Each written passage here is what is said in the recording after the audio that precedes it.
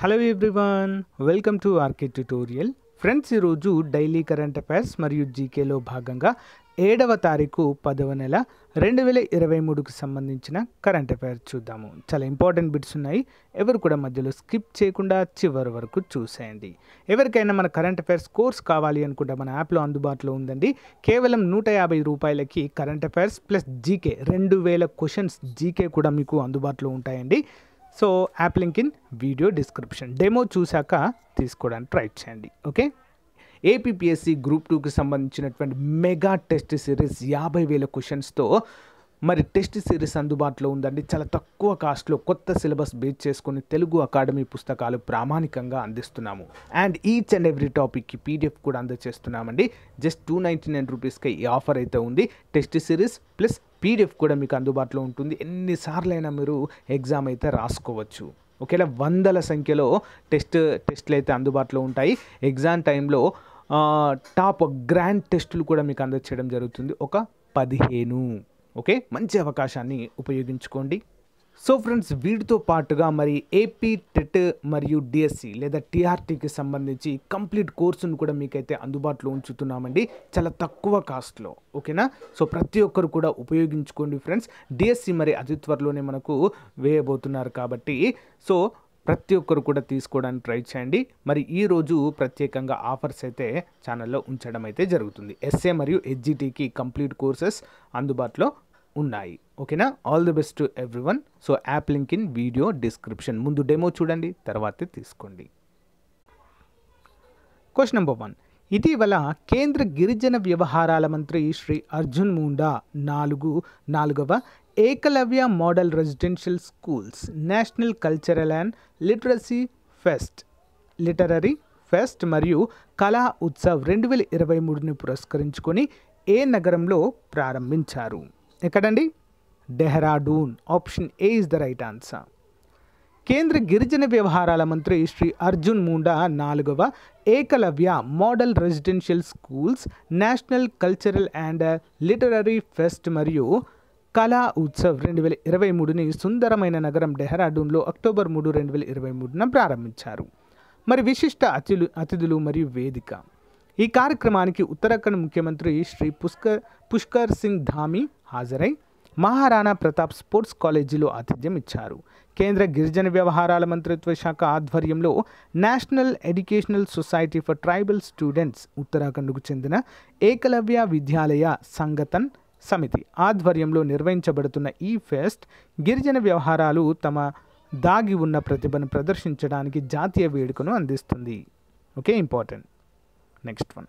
ఇటీవల moon wish moon mission విజయవంతంగా ప్రయోగించిన ఈ దేశం తదుపరి సొంతగా స్పేస్ రీసెర్చ్ స్టేషన్. ఎయిర్ మరి ప్రణాళికను సిద్ధం చేయడం అయితే జరిగింది. ఏ దేశం అండి ఇటీవల మూన్ మిషన్ను కంప్లీట్ చేసింది. ఎవరు? ఇండియా అండి. ఓకేనా? చంద్రయాన్ త్రీ మిషన్ సక్సెస్తో ప్రపంచవ్యాప్తంగా ప్రశంసలు అందుకుంటున్న భారత అంతరిక్ష పరిశోధన సంస్థ లేదా కేంద్రం ఇస్రో మరో భారీ ప్రాజెక్టుకు సిద్ధమవుతుంది. భవిష్యత్తులో అంతరిక్షంలో సొంతగా స్పేస్ స్టేషన్ నిర్మాణం చేపట్టేందుకు ప్రణాళిక రచిస్తుంది. ఇస్రో చైర్మన్ సోమనాథ్ తాజాగా వెల్లడించారు. భవిష్యత్తులో అనేక రకాల మిషన్లు చేపట్టబోతున్నట్లు తెలిపారు. స్పేస్ స్టేషన్ దీర్ఘకాలం ప్రయాణించగలిగే మానవ సహిత స్పేస్ ఫ్లైట్ ఆ జాబితాలో ఉన్నాయని క్లియర్గా తెలియజేశారు. Next one. ప్రపంచంలోనే అతి ఎత్తైన కార్బన్ ఉద్గారాలు తగ్గించడానికి చెక్క భవనం ఇటీవల ఏ దేశంలో రికార్డు స్థాయిలో నిర్మించనున్నట్లు ప్రకటించారు. చెక్క భవనం అండి ఓకేనా? ఆప్షన్స్ ఏంటి? ఆస్ట్రేలియాలో. ప్రపంచంలోనే అతి ఎత్తైన చెక్క భవనము పశ్చిమ ఆస్ట్రేలియాలోని దక్షిణ పెర్త్లో నిర్మాణం కానున్నది. ఈ హైబ్రిడ్ టవర్ను నలభై రెండు శాతం మాస్ టింబర్ అంటే గట్టి చెక్కతో నూట తొంభై ఒకటి పాయింట్ రెండు మీటర్ల ఎత్తులో నిర్మించనున్నారు. కార్బన్ డైఆక్సైడ్ మొత్తం ఉద్గారాల్లో ఎనభై శాతము సిమెంట్ నుంచి వెలువడుతున్నాయని ఈ నేపథ్యంలో చెక్క లాంటి సామాగ్రితో భవనాలు నిర్మించడం వల్ల పర్యావరణంపై పడే ప్రభావాన్ని తగ్గించవచ్చని University of New South Wales professor Philip Oldfield తెలిపారు. Next one. ప్రముఖ అంతర్జాతీయ సెమీ కండక్టర్స్ కంపెనీ లేదా తయారీ పరిశ్రమ దిగ్గజ కంపెనీ అయినటువంటి కేన్స్ టెక్నాలజీస్ కంపెనీ తెలంగాణలోని ఏ జిల్లాలో ఏర్పాటు చేయనున్నారు? ఆన్సర్ ఆప్షన్ డి రంగారెడ్డి అండి. తెలంగాణ రాష్ట్రంలో ఎంతో ప్రతిష్టాత్మకమైన సెమీ కండక్టర్స్ తయారీ పరిశ్రమ ఏర్పాటు. దిగ్గజ ఎలక్ట్రానిక్స్ కంపెనీలు కార్నింగ్ ఫాక్స్కాన్ ఇప్పటికే తెలంగాణలో పెట్టుబడులు పెట్టాయి. ఆ కోవలోనే ఇప్పుడు కేన్స్ టెక్నాలజీస్ రంగారెడ్డి జిల్లాలో కొంగరా కలాన్ ప్రాంతంలో భారీ సెమీ కండక్టర్ పరిశ్రమ ఏర్పాటు చేయనున్నారు. రెండు వేల ఎనిమిది వందల కోట్లతో ఏర్పాటయ్యే ఈ పరిశ్రమలో పరిశ్రమ తెలంగాణలో ఏర్పాటు కావడం విశేషమని మంత్రులు తెలిపారు. మంత్రి కేటీఆర్ సమక్షంలో కంపెనీ ఎండి రమేష్ శంకరన్ మరియు ఐటీ ముఖ్య కార్యదర్శి ఒప్పందంపై సంతకాలు చేశారు. Next one.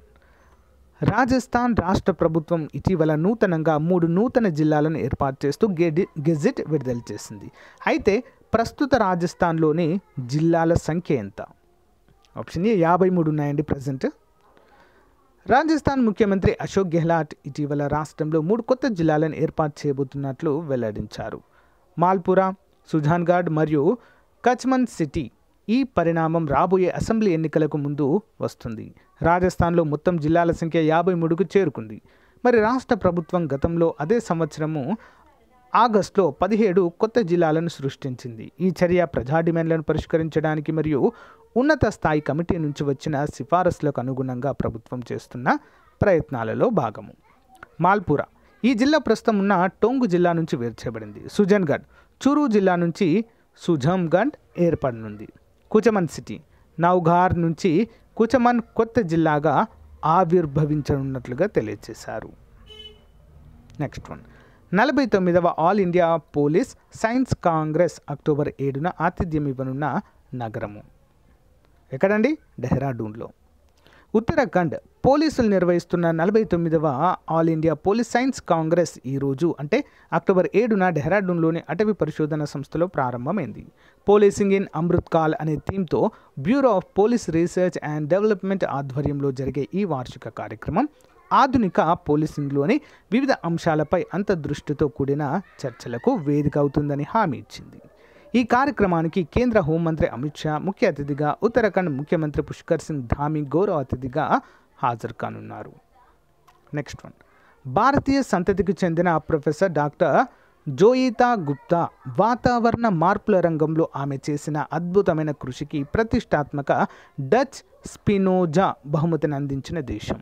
డచ్ అనగానే మీకు అర్థం కావాలి పేరు. ఏ దేశాన్ని డచ్ అని పిలుస్తామండి? Option B Netherland.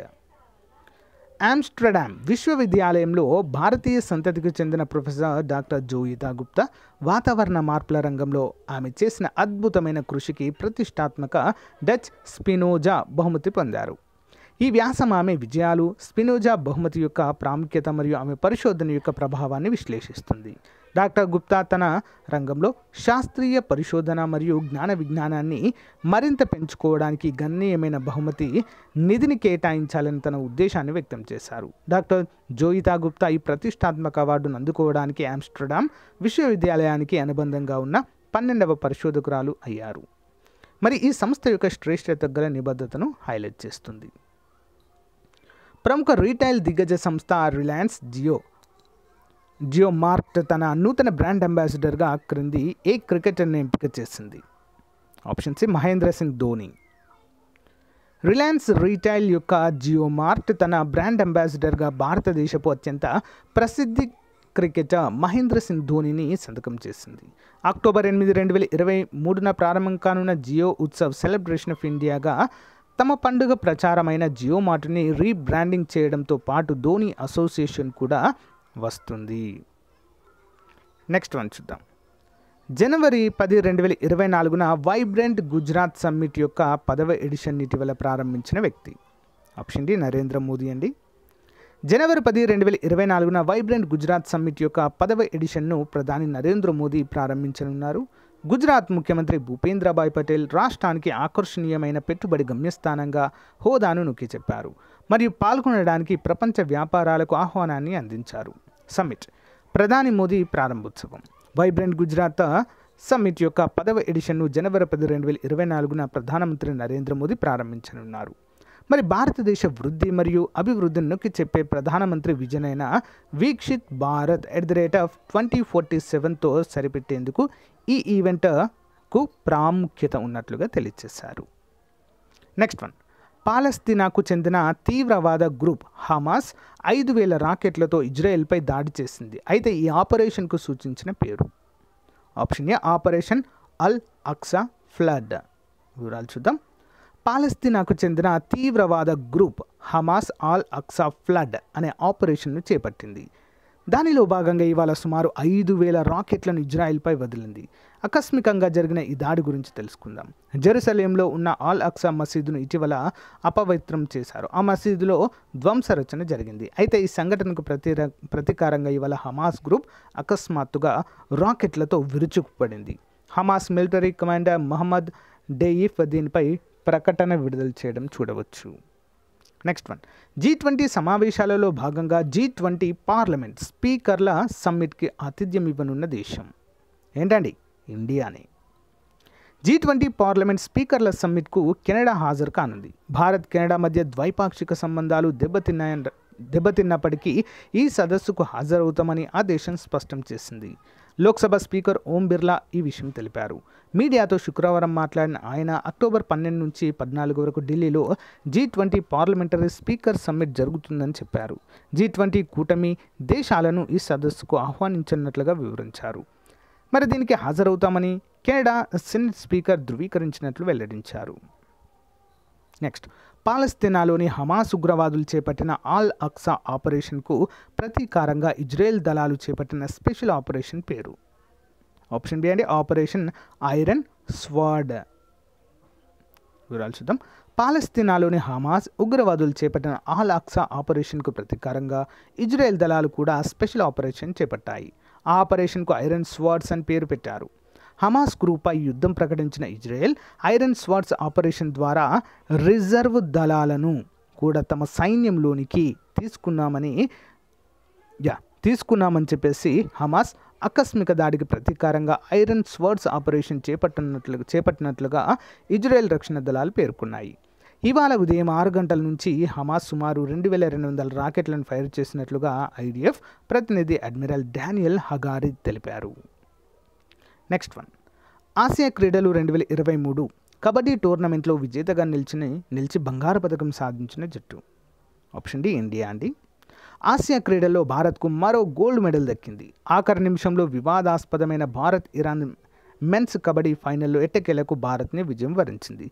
చివరి నిమిషంలో ఓ రైడుకు సంబంధించి ఎంపైర్ ఇచ్చిన నిర్ణయం వివాదాస్పదంగా మారింది. దాంతో ఇరు జట్ల ఎంపైర్లో నిర్ణయంపై నిరసన వ్యక్తం చేశాయి. ఈ క్రమంలో దాదాపు గంట పాటు ఆట నిలిచిపోయింది. తర్వాత భారత్ని విజేతగా నిల్ నిల్ నిర్ణయించారు. భారత క్రికెట్ జట్టు ఆసియా క్రీడల వేదికపై ఫైనల్లో ఏ దేశంపై గెలిచి స్వర్ణ పథకాన్ని కైవసం చేసుకుంది? క్రికెట్ జట్టు అండి. ఆసియా క్రీడ ఆసియా గేమ్స్లో క్రికెట్ జట్టు. ఆప్షన్స్ అండి ఆఫ్ఘనిస్తాన్ పైన విజయం సాధించింది. ఆసియా క్రీడల్లో మరి ఇండియాకు మరో గోల్డ్ మెడల్ దక్కింది. ఇండియా ఆఫ్ఘనిస్తాన్ మధ్య ఇవాళ జరిగిన పురుషుల ఫైనల్ మ్యాచ్ వర్షం కారణంగా నిలిచిపోవడంతో సీడింగ్ ఆధారంగా భారత్ను విజేతగా ప్రకటించారు. దీంతో ఇండియాకు క్రికెట్లో స్వర్ణ పథకం ఖాయమైంది. ఆఫ్ఘనిస్తాన్ జట్టుకు సిల్వర్ మెడల్ వశమైంది. తొలుత టాస్ గెలిచిన తర్వాత ఇండియా ప్రత్యర్థికి బ్యాటింగ్ అయితే ఆహ్వానించింది. పద్దెనిమిది పాయింట్ రెండు ఓవర్లలో ఆఫ్ఘనిస్తాన్ ఐదు వికెట్లను కోల్పోయి నూట పన్నెండు రన్స్ చేసింది. ఆ సమయంలో వర్షం రావడంతో మ్యాచ్ను ఆపేశారు. గ్రౌండ్ చిత్తడిగా ఉన్న నేపథ్యంలో మ్యాచ్ను రద్దు చేశారు. ర్యాంకింగ్లో భారత్ మెరుగ్గా ఉన్న కారణంగా స్వర్ణ పథకం మనకే దక్కింది. నెక్స్ట్ వన్ ఇటీవల వార్తల్లో ఉన్న సాత్విక్ సాయిరాజ్ రంకిరెడ్డి చిరాగ్ చంద్రశేఖర్ షెట్టీల జోడీ ఏ విభాగంలో భారతదేశానికి స్వర్ణ పథకం అందించారు?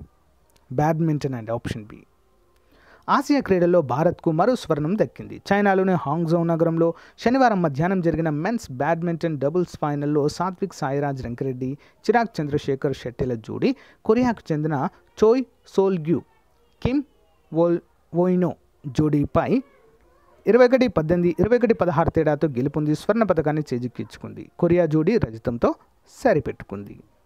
నెక్స్ట్ భారత హాకీ పురుషుల జట్టు ఏ దేశం పైన విజయం సాధించి బంగారు పథకాన్ని ఆసియా క్రీడల్లో కైవసం చేసుకుంది?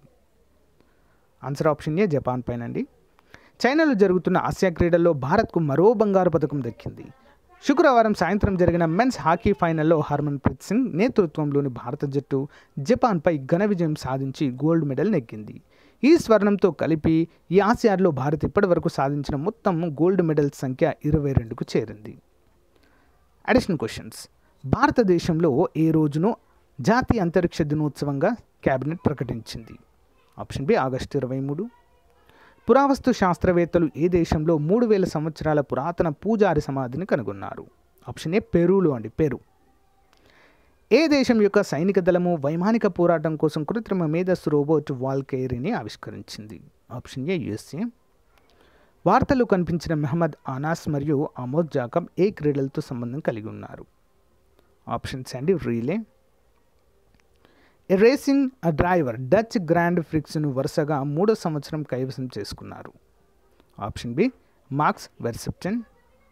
ప్రపంచంలోని మొదటి వంద శాతం ఇథనాల్ ఇంధనంతో కూడిన కారును ఏ కంపెనీ అభివృద్ధి చేసింది? Option B Toyota. Smart India hackathon రెండు వేల ఇరవై మూడు యొక్క ఆరవ ఎడిషన్ ఏ కేంద్ర మంత్రిత్వ శాఖ ప్రారంభించింది? విద్యా మంత్రిత్వ శాఖ ఆప్షన్ ఏ. భారతదేశంలో జాతీయ క్రీడా దినోత్సవాన్ని ఎప్పుడు జరుపుకుంటారు? ఆప్షన్ డి ఆగస్టు ఇరవై తొమ్మిది మేజర్ ధ్యాన్ చంద్ పుట్టినరోజు సందర్భంగా. కావేరీ వాటర్ రెగ్యులేషన్ కమిటీ ఏ రాష్ట్రానికి కావేరీ నీటిని విడుదల చేయాలని ఆదేశించింది? Option C Karnataka. వార్తల్లో కనిపించిన కిషోర్ జీనా ఏ క్రీడతో సంబంధం కలిగి ఉన్నారు? ఆప్షన్ బి అండి javelin throw. Delhi GK question series. Picasso Raphael Cezanne Nandan Lal Bose వీరు ఏ దేశానికి చెందినవారు. ముందుగా Picasso Spain Raphael Italy Cezanne France Nandalal Bose India. Next last judgment అనే పెయింటింగ్ గీసిన చరిత్ర లేదా చిత్రకారుడు క్రింది వారిలో ఎవరో గుర్తించండి. ఎవరండి? Option C Michelangelo Phad Rajasthan యొక్క కళారూపం చిత్రలేఖనం క్రింద ఇవ్వబడిన వానిలో దేనికి చెందినదిగా గుర్తించబడింది? ఫాడ్ రాజస్థాన్ యొక్క కళారూప చిత్రలేఖనం. ఆప్షన్ సి మతపరమైనది. క్రింది వాటిలో సరికాని వాక్యాన్ని గుర్తించండి. తిరువాయి మరియు అజంతా ఆలయాల గోడలపై రాజస్థానీ పెయింటింగ్లు కనిపిస్తాయి. ఇంటి ముందు నేలను అలంకరించేందుకు పొలం కళను ఉపయోగిస్తారు. ఆప్షన్ ఏ ఒకటి మాత్రమే సరైనదండి రెండో తప్పు. క్రింది వాటిలో సరైన వాక్యము. జాతీయ సైన్స్ దినోత్సవాన్ని పంతొమ్మిది వందల ఎనభై ఆరు నుంచి జరుపుకుంటున్నాం. ఇండియా సైన్స్ కాంగ్రెస్ అధ్యక్షుడు doctor Vijayalakshmi Saksena option D రెండు కూడా సరైనవిగా మనమైతే చెప్పుకోవచ్చు. Department of science and technology ఎప్పుడు స్థాపించబడిందో క్రింది వాటిని గుర్తించండి. ఆప్షన్ బి అండి పంతొమ్మిది వందల డెబ్బై ఒకటి. అజంతా గుహల ద పెయింటింగ్స్ ఏమి వివరిస్తాయో ఇవ్వబడిన వాటిలో గుర్తించండి. ఆప్షన్స్ అండి. జాతక కథలు. బుద్ధుని యొక్క జీవిత చరిత్రను జాతక కథల రూపంలో వర్ణిస్తారు. క్రింద ఇవ్వబడిన వారిలో చరిత్రకారులు కాని వారెవరో గుర్తించండి. ఆప్షన్ బి అండి రుక్మిణి దేవి అండి. వీరు భరతనాట్యంలో భరతనాట్యం సంథింగ్ నాట్యానికి సంబంధించినటువంటి వ్యక్తి అండి. రుక్మిణీదేవి అరుండాలు అంటారు నెక్స్ట్. క్రింది వాటిలో సరే వానిలో సరైన వాక్యం ఏది? వరల్డ్ వైడ్ వెబ్ కర్త టిమ్ బెర్నర్స్లీ ఎల్ఈడి అనగా light emitting display. Option D రెండు సరైనవే. ప్రపంచంలోని అతి చిన్న త్రీడీ ప్రపంచ త్రీడీ ప్రపంచ మతాన్ని సృష్టించి గిన్నిస్ వరల్డ్ రికార్డు నమోదు చేసిన ఐబిఎం సంస్థ పరిశోధకులు ఏ ప్రాంతానికి చెందినవారు? ఆన్సర్ ఆప్షన్ బి అండి లండన్. చివరి question. Twitter summit Pratyush Param Shivam. ఎప్పుడు వీటిని ప్రారంభించారు? ట్విట్టర్ రెండు వేల ఆరు మార్చి ఇరవై ఒకటి. సమ్మిట్ రెండు వేల పద్దెనిమిది జూన్ ఎనిమిది. ప్రత్యూష్ రెండు వేల పద్దెనిమిది జనవరి ఎనిమిది. పరం శివాయ్ రెండు వేల పంతొమ్మిది జనవరి పంతొమ్మిది. సో గాయస్ ఇది రోజుకు సంబంధించిన క్లాస్. మీకు నచ్చితే లైక్ చేయండి. తప్పకుండా మీ ఫ్రెండ్స్తో షేర్ చేయడం మాత్రం మర్చిపోవద్దు. మన యాప్ డౌన్లోడ్ చేసుకోండి ఫ్రెండ్స్ మీరు పోటీ పరీక్షకు ప్రిపేర్ అయినా కూడా పర్ఫెక్ట్ కోర్సెస్ లాంచ్ చేయడం జరిగింది. ఒకసారి డెమో చూసి తీసుకోండి. Thank you thank you for you time have next day bye